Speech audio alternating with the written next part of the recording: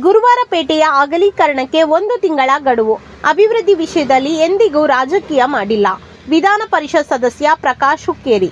ಚಿಕ್ಕೋಡಿ ಪಟ್ಟಣದ ಅಭಿವೃದ್ಧಿ ವಿಷಯದಲ್ಲಿ ನಾನು ಎಂದಿಗೂ ರಾಜಕೀಯ ಮಾಡಿಲ್ಲ.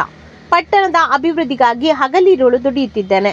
ಪಟ್ಟಣದ ಹೃದಯ ಭಾಗದಲ್ಲಿ ಹರಿದಿರುವ ಹಳ್ಳದ ಮೇಲೆ ಎರಡು ಕೋಟಿ ರೂಪಾಯಿ ವೆಚ್ಚದಲ್ಲಿ ಕಾಂಕ್ರೀಟ್ ರಸ್ತೆ ನಿರ್ಮಾಣ ಮಾಡಿ ಸಾರ್ವಜನಿಕರಿಗೆ ಅನುಕೂಲ ಕಲ್ಪಿಸಲಾಗುತ್ತದೆ ಎಂದು ವಿಧಾನ ಪರಿಷತ್ನ ಸದಸ್ಯ ಪ್ರಕಾಶ್ ಹುಕ್ಕೇರಿ ಹೇಳಿದರು.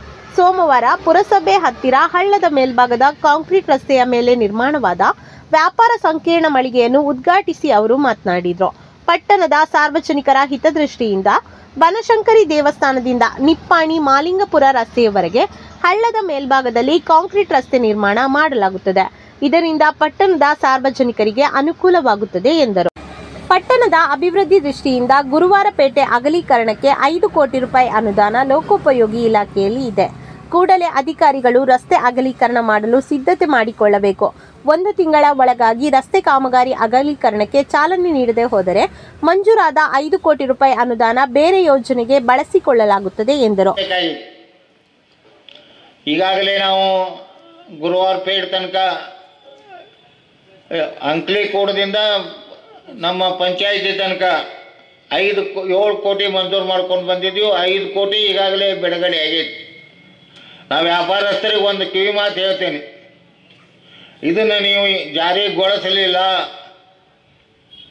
ಒಂದು ತಿಂಗಳ ಒಳಗೆ. ಈಗಾಗಲೇ ಚೀಫ್ ಇಂಜಿನಿಯರ್ ಹತ್ರ ದುಡ್ಡು ಬಂದು ಜಮಾ ಆಗೈತಿ ನಾವು ಕೇಳಿದ್ದೀವಿ ಅವಾಗ ಏನು ಹೇಳಿದ್ರು? ಗಣಪತಿ ಆಗಲಿ.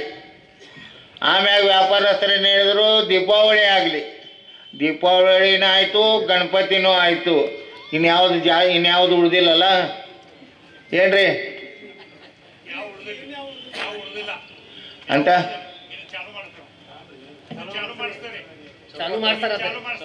ಏನು ಚಾಲು ಮಾಡ್ತೀರಿ?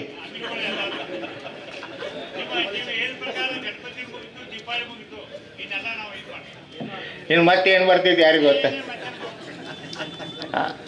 ಅಂಕಲಿ ಕೂಡದಿಂದ ಪಂಚಾಯತಿ ತನಕ ನೀವು ಈ ತಿಂಗಳ ಒಳಗೆ ಅದಕ್ಕೆ ಎ ಸಿ ಅವ್ರ ಮತ್ತು ತಹಸೀಲ್ದಾರ್ ನೀವು ಚಾಲನೆ ಕೊಡ್ಬೇಕು ಅದಕ್ಕೆ ಈಗಾಗಲೇ ಸರ್ವೆ ಮಾಡಿದ್ದೀವಿ.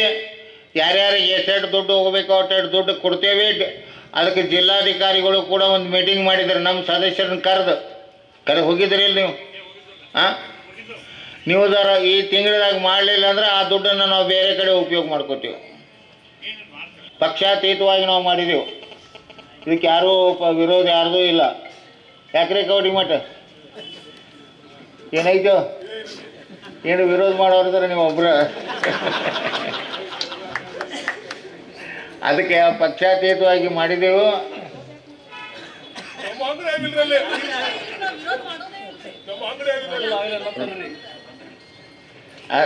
ಮಾಡಕ್ಕೆ ನಾವು ಅದಕ್ಕೆ ಐದು ಕೋಟಿ ತಂದಿದ್ದೆವು ಅದು ಆದ್ಮೇಲೆ ಮತ್ತೆ ಎರಡು ಕೋಟಿ ತರ್ತೇವೆ.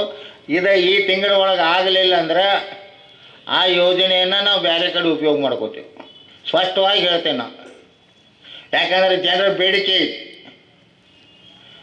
ಜನರ ಬೇಡಿಕೆ ಇದೆ ಅಗಲೀಕರಣ ಮಾಡಬೇಕಂತ, ಅಗಲೀಕರಣ ಆಯ್ತಂದ್ರೆ ರಸ್ತೆ ಮಾಡ್ತೀವಿ. ರಸ್ತೆ ಮಾಡಿದ್ರೆ ಕೆ ಅಂಡರ್ಗ್ರೌಂಡ್ ಕೇಬಲ್ ಮಾಡ್ತೀವಿ. ಇದನ್ನು ನೀವು ವ್ಯಾಪಾರಸ್ಥರ ಇದು ವಿಚಾರ ಇಟ್ಕೊಂಡು ನಾವು ಇವತ್ತು ಮೀಟಿಂಗ್ ಕರೆದಿದ್ದೀವಿ. ಪುರಸಭೆ ಅಧ್ಯಕ್ಷೆ ಶ್ರೀಮತಿ ವೀಣಾ ಕವಟಗಿಮಠ ಮಾತನಾಡಿ, ಪಟ್ಟಣದ ಅಭಿವೃದ್ಧಿಯ ದೃಷ್ಟಿಯಿಂದ ವಿಧಾನ ಪರಿಷತ್ನ ಸದಸ್ಯ ಪ್ರಕಾಶ್ ಹುಕ್ಕೇರಿ ಸಹಕಾರ ಕೊಡಬೇಕು ಎಂದು ಮನವಿಯನ್ನು ಮಾಡಿದ್ರು. ಪ್ರಕಾಶನ ಅವರ ಫಂಡದಿಂದ ನಾವು ಈ ಕಾರ್ಯಕ್ರಮ ಮಾಡಿದ್ದೇವೆ.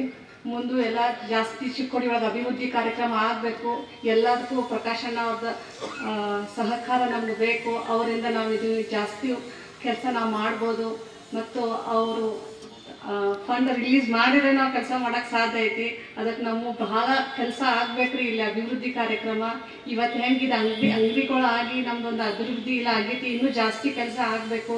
ಅದಕ್ಕೆ ನಿಮ್ಮ ಸಹಕಾರ ಇತ್ತು, ನಾವೆಲ್ಲ ಸದಸ್ಯರು ಕೂಡಿ ಆ ಕೆಲಸ ನಾವು ಮಾಡ್ಬೋದು ಅಂತ ಹೇಳಿ. ಈ ಸಂದರ್ಭದಲ್ಲಿ ಪುರಸಭೆ ಉಪಾಧ್ಯಕ್ಷರಾದ ಇರ್ಫಾನ ಬೇಪಾರಿ ಉಪವಿಭಾಗಾಧಿಕಾರಿ ಸುಭಾಷ್ ಸಂಪಗಾವಿ, ತಹಶೀಲ್ದಾರ್ ಸಿಎಸ್ ಕುಲಕರ್ಣಿ, ಪುರಸಭೆ ಮಾಜಿ ಅಧ್ಯಕ್ಷ ಪ್ರವೀಣ ಕಾಂಬಳೆ ಮಾಜಿ ಉಪಾಧ್ಯಕ್ಷ ಸಂಜಯ ಕವಟಗಿಮಠ ಪುರಸಭೆ ಸದಸ್ಯರಾದ ಸಾಬೀರ ಜಮಾದಾರ, ವಿಶ್ವನಾಥ ಕಾಮಗೌಡ, ಗುಲಾಬ ಬಾಗ್ವಾನ, ರಾಮ ಮಾನೆ, ಅನಿಲ ಮಾನೆ, ನಾಗರಾಜ್ ಮೇದಾರ, ಬಾಬು ಮಿರ್ಜೆ, ಸಿದ್ದಪ್ಪ ಡಂಗೇರ, ರವಿ ಹಂಪನ್ನವರ, ಮುದ್ರಸರ ಜಮಾದಾರ ಮುಂತಾದವರು ಉಪಸ್ಥಿತರಿದ್ದರು.